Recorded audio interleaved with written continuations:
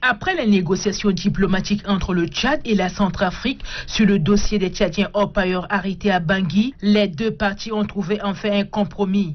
Un avion spécial est dépêché par le président du Conseil militaire de transition, le général de corps d'armée Mahamat Idriss Déby Itno, pour rapatrier ses concitoyens. À leur descente d'avion, ces jeunes Tchadiens ont été accueillis à l'aéroport international Hassan Diamos par le secrétaire d'État aux affaires étrangères. Euh, nos concitoyens vont regagner leurs familles respectives. Ça va être d'abord la joie dans leur famille. Et en partant de là, euh, celle également du peuple tchadien dans son ensemble. Nous avons nos confrères qui sont détenus ailleurs, nos concitoyens aujourd'hui sont libérés. Euh, c'est quand même une joie.